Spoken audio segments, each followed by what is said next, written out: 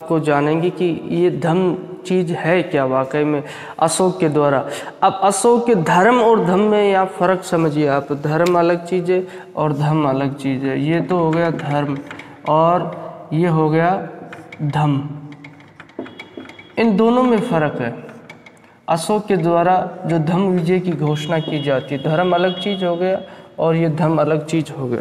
जैसे कि हम देखेंगे कि अशोक के जो व्यक्तिगत धर्म और धर्म में फ़र्क होता है, क्योंकि व्यक्तिगत धर्म की अगर बात की जाए, अशोक के द्वारा बौद्ध धर्म स्वीकार कर लिया जाता है। लेकिन ये धर्म अलग चीज़ है। मूलतः इसे साधारण भाषाओं में तुम कहो, समझने का प्रयास करो। तो ये, इसे कई विद्वानों के द्वारा, आचारों की संहिता, आचारों की संहिता भी कहा गया। ऐसे, ऐसा व्यवहार ऐसा व्यवहार जो मान्य हो, जैसा मनुष्य को करना चाहिए, यानी कि एक आदर्श आदर्श उसके द्वारा प्रस्तुत किया गया, आदर्श व्यवहार है, आदर्श जो नियमों का प्रावधान यहाँ किया गया यही अशोक का धर्म है। अब अशोक के धर्म को लेकर विद्वानों में काफ़ी मतभेद, इतिहासकारों के द्वारा अलग अलग मत प्रतिपादित किए गए। उनसे पूछा गया कि, भाई, बताओ अशोक का धर्म क्या था? जैसा कि हमने देखा, कलिंग युद्ध कलिंग विजय के पश्चात अशोक के द्वारा कौन सी धम विजय का निश्चय किया जाता है? दिग्विजयों का त्याग कर दिया जाता है।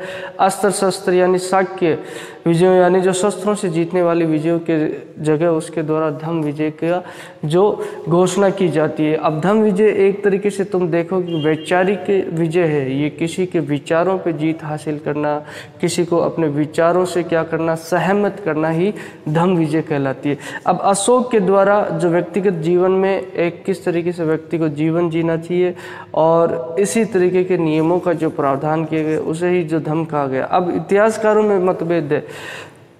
अलग अलग इतिहासकारों के द्वारा जो अलग अलग इस धर्म का अर्थ बताया गया, जिसमें मूलतः देखेंगे किन किन इतिहासकारों का। डॉक्टर स्मिथ ने कहा है, सॉरी, डॉक्टर फ्लिट की बात लेते पहले, फ्लिट ने कहा है कि जो राजधर्म है उसे ही धर्म कहा गया। अब राजधर्म क्या होता है? राजधर्म यही होता है कि राजा को अपनी जनता के प्रति कैसा व्यवहार करना चाहिए? राजा के कौन कौन से, जो राजा के ऊपर कौन कौन से नियम लागू होते हैं, किस तरीके से राजा को शासन करना चाहिए? और कौन कौन सी जिम्मेदारियाँ एक राजा की होती है, शासक की होती है, उसी को जो डॉक्टर फ्लिट महोदय के द्वारा, जो राजधर्म को ही क्या कहा गया? धर्म कहा गया। यानी कि अशोक के द्वारा अपनी प्रजा के प्रति किस तरीके का व्यवहार और किस तरीके के जो उसके द्वारा जो जीवन यापन करने के तरीके, प्रजा के प्रति जो ज़िम्मेदारी या उसके कर्तव्य, उन्हीं को राजधर्म। राजधर्म क्या होता है? यही तो होता है, राजा का जो धर्म होता है कि किस तरीके के राजा को शासन करना चाहिए, वही जो राजा के क्या क्या कर्तव्य होते हैं तो उसी को जो फ्लिट मोदी के द्वारा जो क्या कहा गया, अशोक का धर्म कहा गया। अब डॉक्टर स्मिथ की बात करते हैं। डॉक्टर स्मिथ के महोदय द्वारा कहा गया कि अशोक के धर्म से उनके द्वारा जो तात्पर्य दिया गया है, उनके द्वारा कहा गया है कि अशोक का धर्म क्या है। तो उन्होंने डॉक्टर इसमें ने कहा कि ऐसे सिद्धांत और नियम ऐसे नियम और सिद्धांत जो सभी धर्मों में सामान्य रूप से लागू होते, सभी धर्मों में सामान्य रूप से मान्य होते, उन्हीं को अशोक का धर्म कहा गया। यानी कि वे सिद्धांत और नियम जो सभी धर्मों में सामान्य रूप से लागू होते हैं, सभी धर्मों के द्वारा स्वीकार किए जाते हैं। जैसे कि उदाहरण, सभी धर्मों के अनुसार ये बात शाश्वत सत्य है कि व्यक्ति की एक दिन मृत्यु होती है। तो इन्हीं सिद्धांतों और नियमों को उसके द्वारा क्या कहा गया है? जो अशोक का धर्म कहा गया अब राधा कुमुद, डॉक्टर राधा कुमुद मुखर्जी है।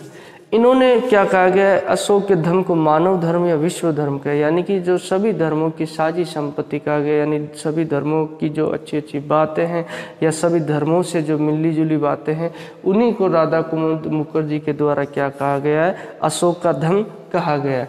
अब राय चौधरी है। राय चौधरी भी यही बात कहते हैं कि अशोक के द्वारा क्या सभी धर्मों का जो सार, निचोड़ निकाल लिया जाता है और उसके आधार पे उसके द्वारा जो धर्म प्रतिपादित किया जाता है, अशोक का धर्म जो चौधरी के द्वारा, डॉक्टर राय चौधरी के द्वारा कहा गया यही कहा गया कि ये सभी धर्मों का सार है।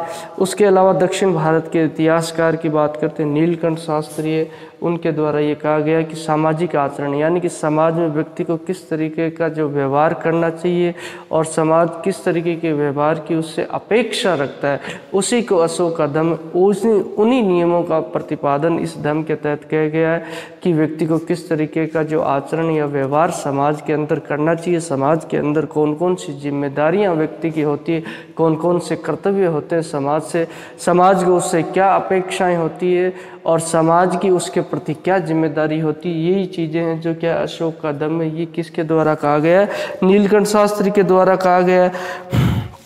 उसके अलावा जो भंडारकर महोदय भंडारकर महोदय के द्वारा भी एक स्टेटमेंट दिया गया धम के बारे में, जो भंडारकर महोदय हैं, वो कहते हैं कि जो इतिहासकार हैं ना, जो भंडारकर भंडारकर महोदय के द्वारा कहा गया है कि बौद्ध धर्म के सिद्धांत जो सिद्धांत और उपदेश है, वही क्या होते हैं? अशोक के धर्म का स्रोत होते हैं। यानी कि मूल रूप से इनका कहना है कि बौद्ध धर्म के सिद्धांत और जो उपदेश है, वही जो अशोक का धर्म है। यानी कि बौद्ध धर्म की शिक्षाओं को ही इसका आधार माना गया।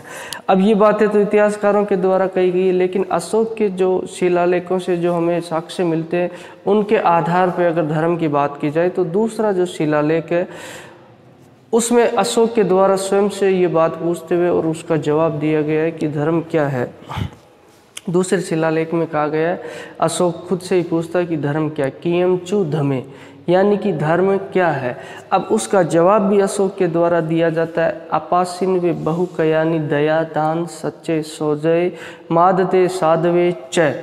यानी कि कियम चुद्ध में धर्म क्या है? तो अशोक खुद जिसका जवाब देता है, अपासिन वे बहु का यानी दया, दाने सच्चे सोचे, मादते साधवे च।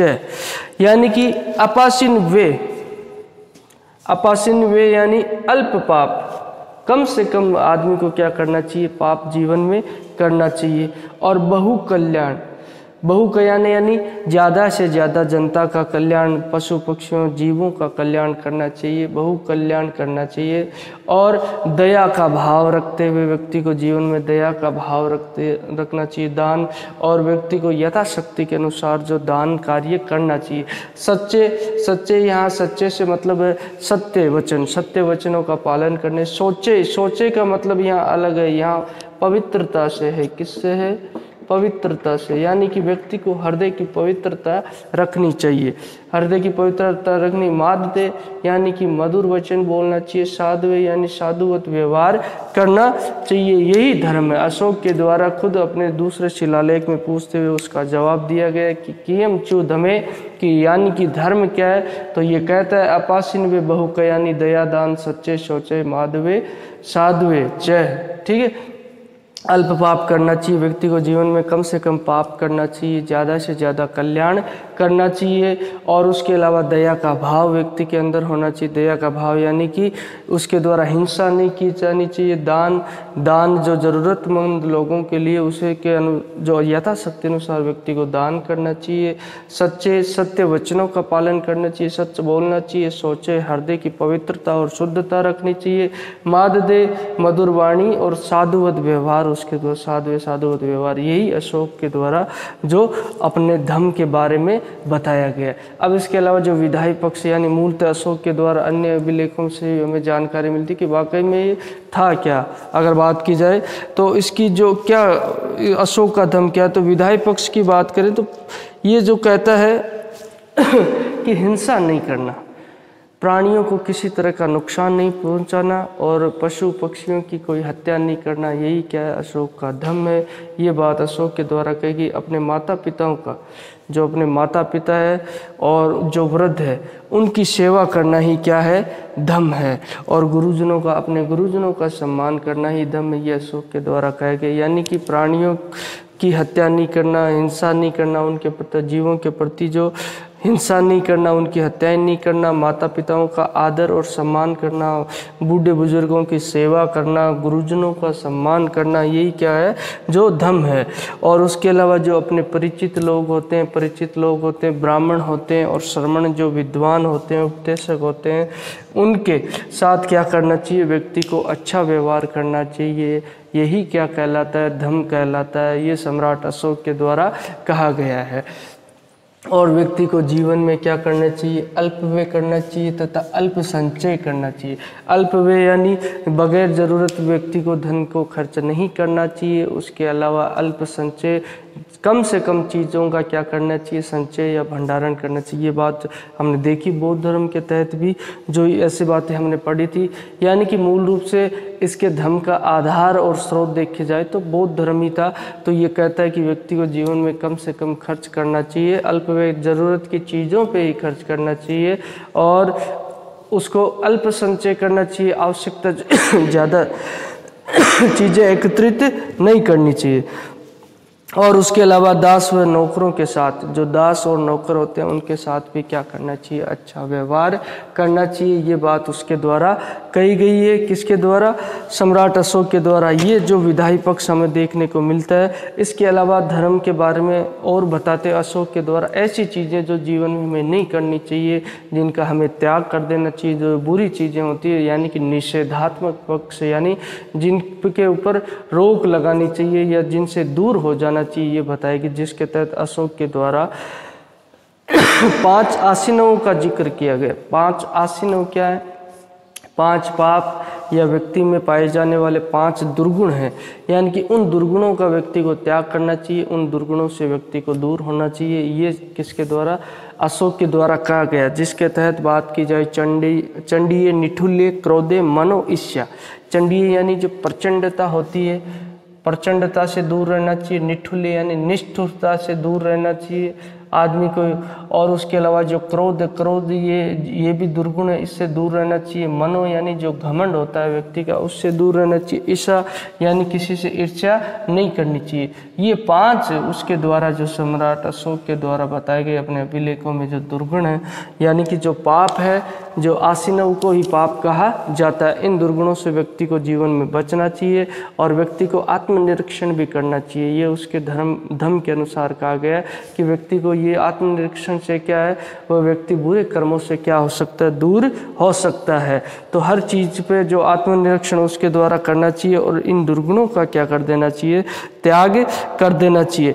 उसके अलावा उसके द्वारा कहा गया है कि व्यक्ति को बिना किसी कारण के, अकारण ही दूसरे धर्म की निंदा नहीं करनी चाहिए।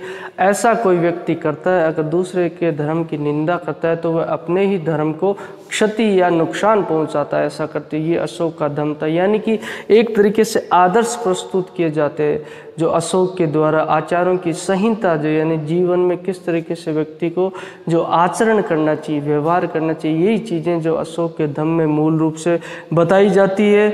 और सभी धर्मों का आदर करना और उनके प्रति सहिष्णुता, सभी अशोक खुद सहिष्णु शासक था सभी धर्मों का जो समान रूप से उसके द्वारा आदर और सम्मान किया गया है और सभी धर्मों के प्रति जो सहिष्णुता है। उसके अलावा उसके द्वारा दूसरे शिलालेख में जो उसके द्वारा किए गए कई परोपकार के कार्य जिसके तहत उसके द्वारा कहा गया कि सभी दो पायों, यानी दो पैरों वाले, चौपायों, यानी चार पैरों की वालों के लिए और उसके अलावा पक्षियों व जलचरों पर उसके द्वारा क्या किया जाता है? उपचार, जो उपकार किया जाता है। सभी दो पायों चौपायों दो पायों दो पैरों वाले जीव जंतु है और उसके अलावा जो चौपाए चार पैरों वाले हैं और पशु पक्षियों और जलचरों के लिए उसके द्वारा क्या किया गया? उन पे उपकार किया गया। यही कार्य यानी दूसरों के उपकार हेतु जो कार्य किए जाते हैं, उनको ही अशोक का धम कहा गया। तो इस तरीके से अशोक के द्वारा अपने धम के बारे में बताया गया है।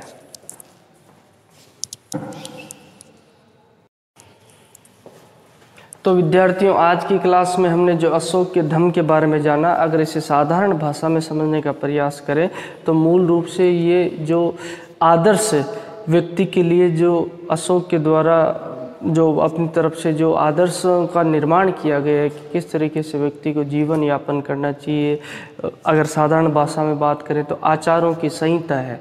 यानी कि अशोक के द्वारा ये कहा गया है कि व्यक्ति के क्या क्या कर्तव्य हैं, समाज में क्या जिम्मेदारियाँ ये बताने करने जो प्रयास इस धर्म के माध्यम से किया गया है और उसके अलावा जो इतिहासकारों के द्वारा, विद्वानों के द्वारा जो धर्म के बारे में अलग अलग अपने विचार प्रकट किए गए उनमें मतभेद हमें देखने को मिलता है।